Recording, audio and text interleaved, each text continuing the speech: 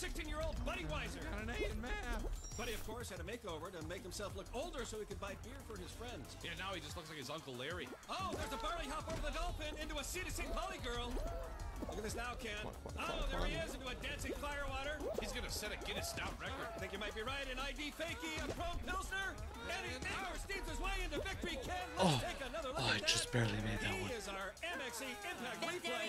Let's take another look, Ken. Yeah, right here, Vic. There's a distinct possibility I don't make this one, but I will watch you if I don't. Okay.